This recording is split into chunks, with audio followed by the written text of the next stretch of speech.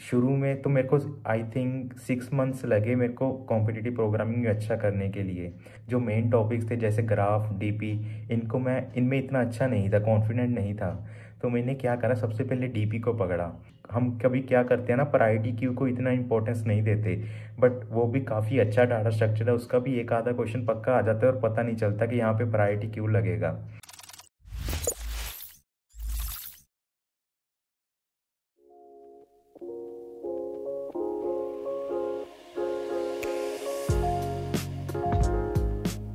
Hello everyone, myself Vishesh Jinder. I am going to join Flipkart as an ST intern in the next summer and I am pre-final year computer science undergraduate at IIT Dhanbad. So in this video, we will see how I started coding, what, what courses did I pursue and when did I started competitive programming and how I use interview bait and LeetCode and what was my preparation strategy before the few months of internship season and at the end I will share few tips with you. So let's get started. So first of all when I went to the college my branch was not CSE. I was in EC branch. So my first aim was to change my branch. So first year में मैंने इतनी coding नहीं करी थी क्योंकि मुझे अपनी branch change करनी थी तो मेरा ज़्यादा फोकस पढ़ाई पर था सेमेस्टर पर था। तो क्या हुआ फ़र्स्ट सेमेस्टर अच्छा गया, अच्छी जी आई और उस समय हॉलीडे जो ब्रेक मिला ना, उसमें मैंने सी प्लस प्लस का फाउंडेशन कोर्स कर लिया था कोडिंग निंजा से एंड ये कोर्स मैंने लगभग पंद्रह बीस दिन में कर दिया था। उसके बाद फिर से सेकेंड सेमेस्टर शुरू हो गया और फिर से वही पढ़ाई। एंड फिर आया कोविड तो उस समय कॉलेजेस हो गए बंद। तो उस समय मैंने सोचा कि कोडिंग स्टार्ट कर सकता हूँ। क्योंकि अभी कॉलेजेस का प्रेशर नहीं है।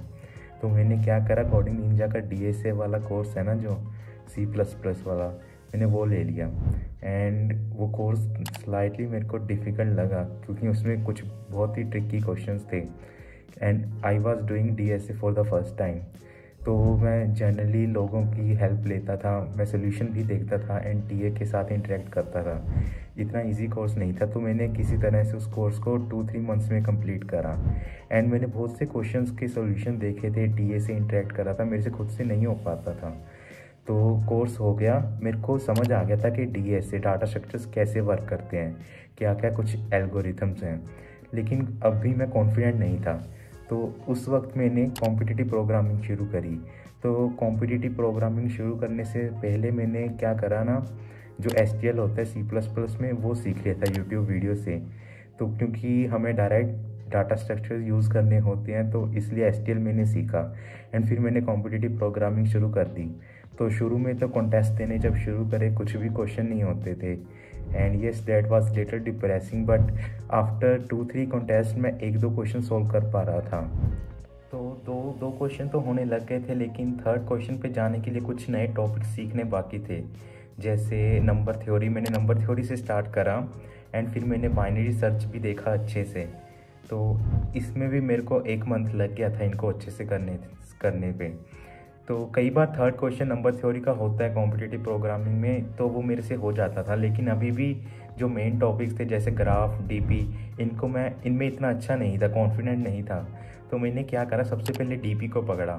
तो डीपी को मास्टर करने में मेरे को लगभग टू मंथ्स लगे। तो मैंने स्टार्टिंग वही रिकर्शन से करी। मेरे को आइडिया था, क्योंकि मैंने डीएसए वाला कोर्स कर रखा था पहले से। तो मैंने अलग अलग क्वेश्चंस करे, जैसे one D D P two D D P hacker से करा। हैकर अर्थ पे easy to medium difficult hard सभी क्वेश्चन हैं। तो तुम वहाँ पे कर सकते हो। हैकर अर्थ बेस्ट रहता है यदि तुम्हें कुछ नया टॉपिक सीखना है। तो मैंने डी पी वहाँ से प्रैक्टिस करा एंड मैंने फिर D P with mid masking भी करा। एंड ये डी पी तो मास्टर हो गया था टू मंथ्स में। अभी भी ऐसा होता है कि कुछ नए क्वेश्चन डी पी के आ जाते हैं तो नहीं होते। बट जो इंटरव्यूज़ के लिए इनफ था वो हो गया था। एंड फिर मैंने ग्राफ्स पकड़ा। तो ग्राफ्स भी अच्छा अच्छा टॉपिक लगा मेरे को एंड देन मैंने उसको वन मंथ में मास्टर कर लिया था क्योंकि उसमें क्या होता है, तुम्हें कुछ एल्गोरिथम्स होती हैं स्टैंडर्ड वाली, वो सीख लो तो तुम्हें बस क्वेश्चन में पता करना होता है कि कौन से वाली एल्गोरिथम लगानी है। तो इस वजह, इस तरह से मैंने ग्राफ भी सीख लिया था। तो ये थी मेरी कॉम्पिटिटिव प्रोग्रामिंग की जर्नी एंड शुरू में तो मेरे को आई थिंक सिक्स मंथ्स लगे मेरे को कॉम्पिटिटिव प्रोग्रामिंग अच्छा करने के लिए। तो उसके बाद मेरी कोड फोर्सिस पे रेटिंग एक्सपर्ट हो गई थी। एंड फिर अभी अभी भी बचे थे three four months internship season शुरू होने में। तो उस वक्त मैंने टू मंथ्स वहाँ पे डेवलपमेंट को दिए, क्योंकि मेरे को कुछ प्रोजेक्ट्स चाहिए थे अपने रिज्यूमे में। एंड आफ्टर दैट जब इंटर्नशिप से टू थ्री मंथ्स पहले मैंने जो थ्योरी सब्जेक्ट्स होते हैं कोर्स सब्जेक्ट्स मैंने उनको उठाया। तो सबसे पहले तो वही ऊप्स को देखा अच्छे से then O S and D B M S हमारे हमारे सेमेस्टर में तब नहीं करवाया था तो हम बोल सकते थे कि हमें ये नहीं करवाया। एंड फिर मैंने क्या करा ना इंटरव्यू बिट और लीड कोड इंटरव्यू बिट का मैंने हर क्वेश्चन करा, हर क्वेश्चन तो वो लिमिटेड क्वेश्चन ही हैं, हम कर सकते हैं पूरे।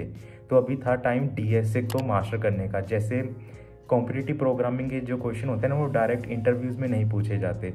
इंटरव्यूज़ में जैसे इंटरव्यू बिट पर या फिर लीड कोड पर क्वेश्चन होते हैं ना, वही पूछे जाते हैं। तो सबसे पहले मैंने इंटरव्यू बिट को पूरा करा। तो इंटरव्यू बिट मेरा हो गया था अराउंड वन मंथ में। एंड उसके बाद फिर मैंने कुछ अच्छे क्वेश्चन लीड कोड से प्रैक्टिस करना शुरू करा, जैसे ग्राफ्स के डीपीज के। क्योंकि ये मेन टॉपिक्स हैं, इनसे क्वेश्चन आना पक्का ही था। जैसे DP graphs and trees and कुछ हम कभी क्या करते हैं ना प्रायोरिटी क्यू को इतना इंपॉर्टेंस नहीं देते बट वो भी काफ़ी अच्छा डाटा स्ट्रक्चर है, उसका भी एक आधा क्वेश्चन पक्का आ जाता है और पता नहीं चलता कि यहाँ पे प्रायोरिटी क्यू लगेगा। एंड ये मेरे साथ हुआ था। काफ़ी कंपनीज़ में एक क्वेश्चन तो प्रायोरिटी क्यू का आ ही जाता है तो उसको भी अंडर रेटेड मत करना। Now I want to discuss how competitive programming actually help me तो यार कॉम्पिटेटिव प्रोग्रामिंग करने से क्या होता है कि तुम नए क्वेश्चन को जल्दी सोच पाते हो, और तुम जब ऑनलाइन टेस्ट देते हो किसी भी कंपनी का तो वहाँ पे टाइमर होता है कि इतने टाइम में इतने क्वेश्चन करने हैं। तो कॉन्टेस्ट देने से कॉम्पिटेटिव प्रोग्रामिंग में तुम्हारी ये चीज़ बेटर हो जाती है। तो बेसिकली तुम फास्ट हो जाते हो एंड नए क्वेश्चंस को जल्दी अप्रोच कर पाते हो। तो इस तरह से कॉम्पिटेटिव प्रोग्रामिंग ने हेल्प करा। एंड जो कॉम्पिटेटिव प्रोग्रामिंग में टॉपिक्स होते हैं number theory binary search graphs DP trees तो ये हेल्प करते ही हैं तुम्हें ऑनलाइन टेस्ट और इंटरव्यूज़ में। सो कॉम्पिटिटिव प्रोग्रामिंग करना अच्छा है, यदि तुम किसी कंपनी को क्रैक करना चाहते so now I want to share some tips with you so first of all be calm in the interviews so at max क्या हो सकता है, वो तुम्हें सिलेक्ट नहीं करेंगे। But you will surely learn something new and most of the time जो question पूछा जाता है, वो कभी कभी जो तुमने क्वेश्चन पहले करे हुए हैं ना, उन्हीं से रिलेटेड होता है। बस तुम्हें अच्छे से देखना और समझना होता है कि क्या पूछ रहा है क्वेश्चन में। And second point you should give some mock interviews before the actual interview ऐसा करने से तुम्हें कॉन्फिडेंस आ जाता है किसी के सामने नई प्रॉब्लम सॉल्व करने का। And you can book the mock interview sessions at coding ninjas also and third point interview से एक दो दिन पहले ज़्यादा इधर उधर का मत पढ़ना बट बस रिलैक्स करना एंड खुले दिमाग से जाना इंटरव्यू में. So all the best